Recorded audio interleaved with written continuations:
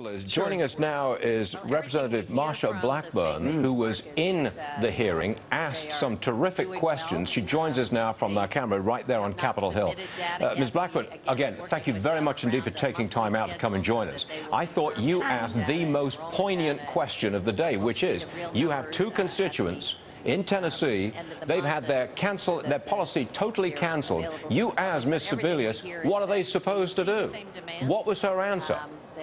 Well, and she continues to say, well, they can get better policies, but the point is this. And of course, Stuart, you notice they are nuancing their story now to try to get around this falsehood. If you like what you have, you can keep it. And so she's saying, well, they get a better policy, this, that, and the other. But the point that I made was this look, set that aside. You cannot keep what you had, even if you like it and it fits your needs.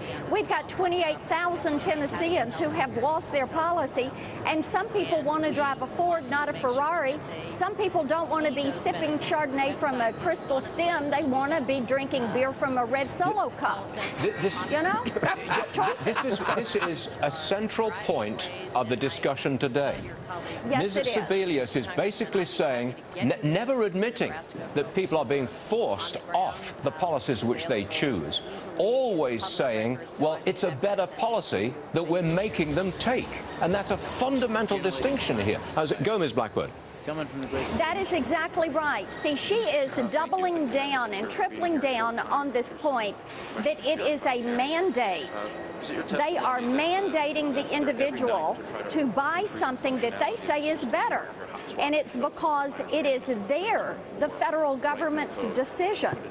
And so they continue to force this. Ms. Buckman, stay there for a second, please. One quick One comment. You know, not only do people want to keep their beer, as she said, maybe they can't afford the champagne that the government's forcing onto them. Right. Uh, Ms. No, Blackburn. That's exactly right. Yes.